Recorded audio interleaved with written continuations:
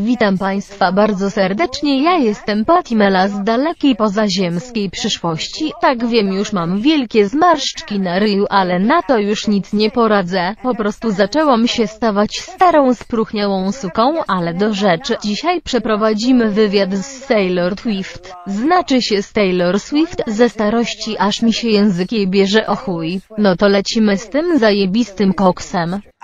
Powiedz nam o tym czemu zaczęłaś śpiewać Taylor. Ja. Oj sama wiesz Patty.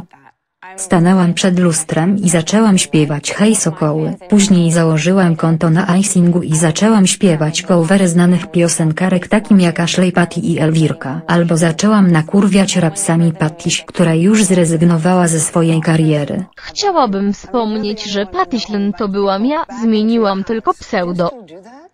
OMG, nie wierzę. Patyś to byłaś ty, ale dostałaś zmarszczek na ryju, a na okładce płyty byłaś taka wygładzona. To był chyba Photoshop, ale dobra wyjebane. Chciałam pozdrowić najwierniejszą moją fankę Forever Ewa, ale to będzie w nagraniu zaraz. Heja sik psik to ja Taylor Swift chciałam ciebie pozdrowić uwielbiam ciebie buziaczki kochana. Czemu wyglądasz jak anorektyczka? Stul? Ryja. Zaraz ci dojebie tak jak z tymi zmarszczkami, które masz na ryju. Szanuj się szmato, nie jestem anorektyczką. Codziennie ćwiczę jogging i nie opierdalam się. Mam ci wykurwić za tą anorektyczkę zaraz. You know what Patty? Tu się jebni. Chcesz solówę ze mną? Z tobą to nawet zboczony kop by wygrał solówę? Jesteś taka słaba, że ja pierdolę.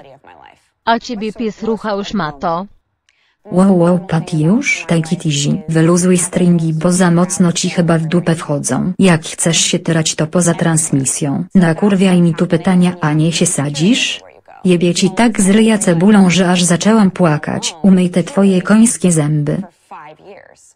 No dobra koniec. Jak tam twoje związki? A chuj ci do tego spróchniała babciu wierzbo. Jeb się kończmy tego interwiuwa bo mi się żygać chce z tego smrodu z twojej japy.